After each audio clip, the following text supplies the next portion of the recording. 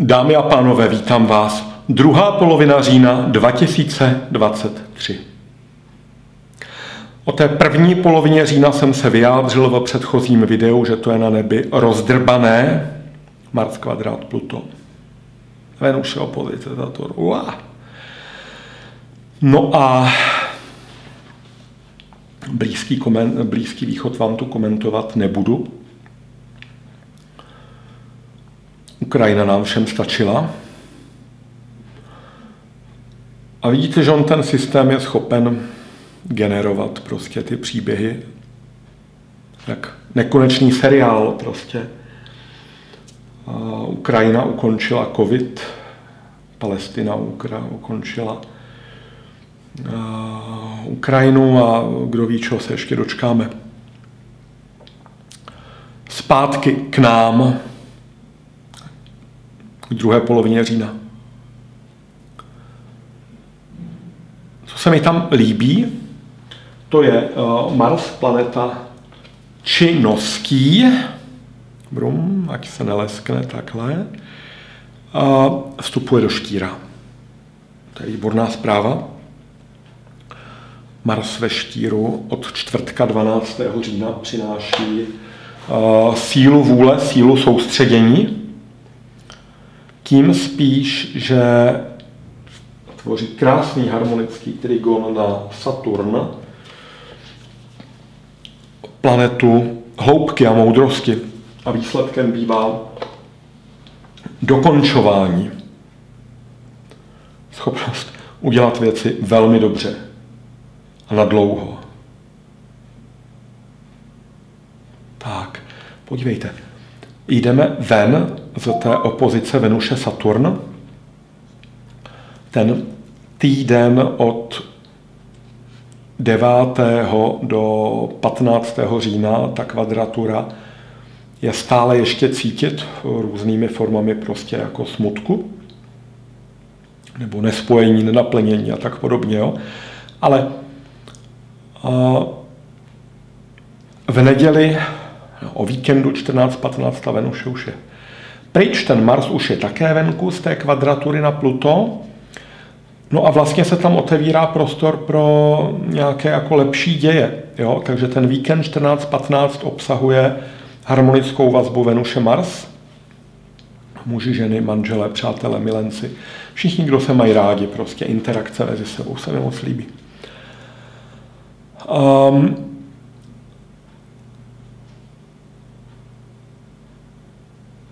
Venuše nazbírá ještě jeden harmonický aspekt, a to ten další víkend, 21-22, kdy se dostane do trigonu na Jupiter. Jo, Venus je v půlce Pany, trigon na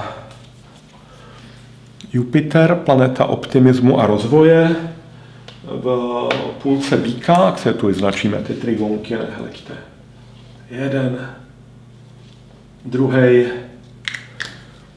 trouhelníčky tam lípnem, brum, brum, jo. A pro mě je toto obraz zdaru. Zdaru a dobře nasměrované síly. Eh, Venuše Jupiter přináší podporu lásky, ale i práce, protože ta Venuše je v pracovním znamení Pany. Jupiter je ve znamení býka, znamení výdělku. Jo, tak jak říká, říkalo, že komu se nelení, tomu se zelení, tady je to vidět. Teď i tohle jsou dvě pracovní planety v Trigonu na sebe. Mně, mně se to líbí. Prostě dobrá druhá půlka října. Teď o tom víkendu um, 21, 22 se do toho trigonu na Saturnu, na Saturn dostane Merkur. Mars už je o kousíček dál.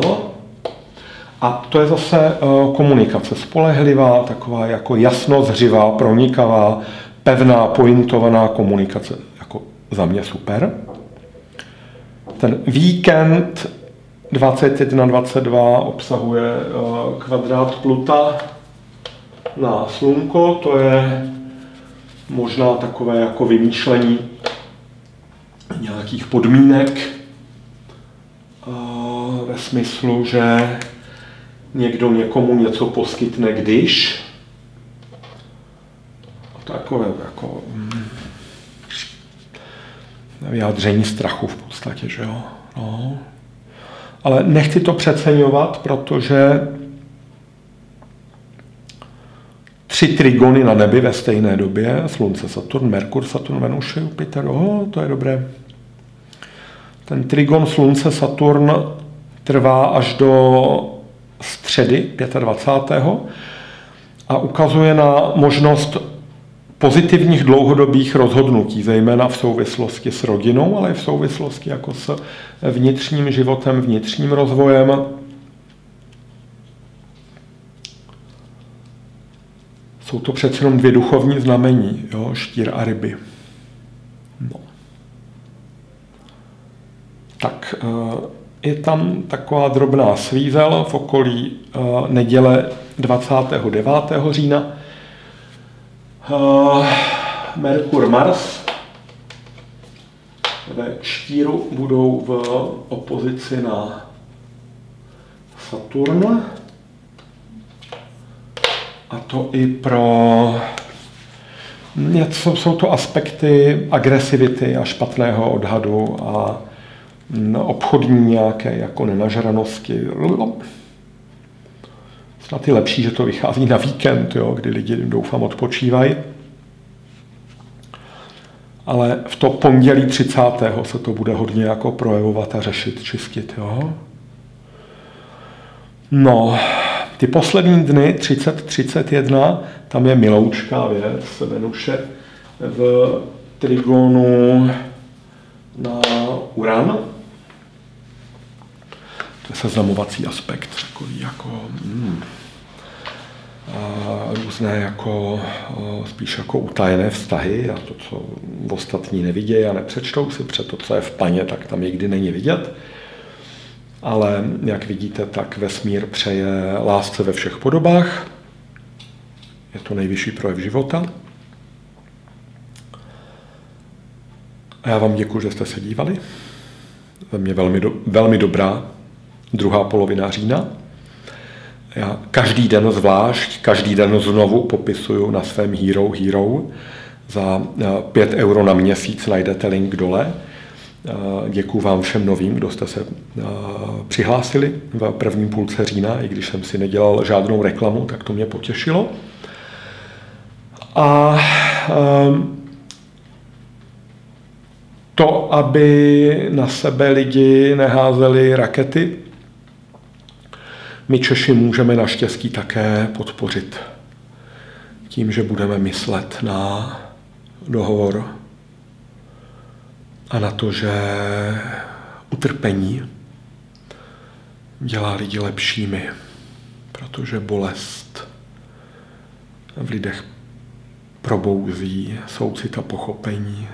Jo, tak jako jsem velice litoval všech obětí rusko-ukrajinského konfliktu, tak tam stejnou prostě lítost a soucit ke všem, kteří trpí v Palestině a Izraeli. Děkuji vám za sledování, děkuji vám za podporu a opět se tu setkáme začátkem listopadu.